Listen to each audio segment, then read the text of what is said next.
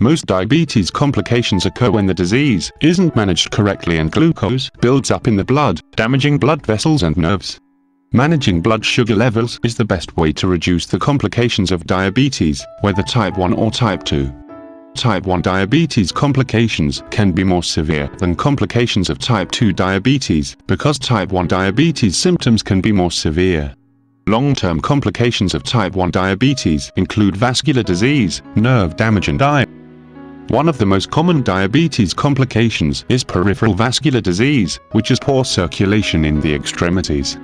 When sugar builds up in the bloodstream, it can damage the tiny veins and capillaries in the legs, feet and hands.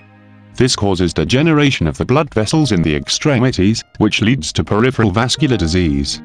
The poor circulation in the extremities impedes healing of even the smallest cut, and tissues can die quickly without adequate blood supply.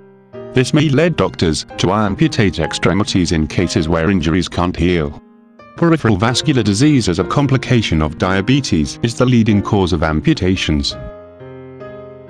Damage to nerves is another of the most common diabetes complications. Like peripheral vascular disease, nerves in the extremities may also die due to lack of blood in a condition called neuropathy.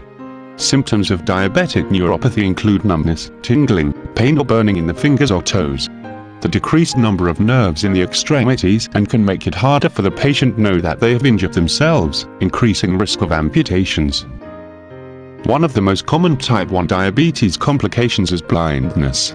Diabetes can affect the eyesight in many ways, and there are several eye diseases that are connected with diabetes complications.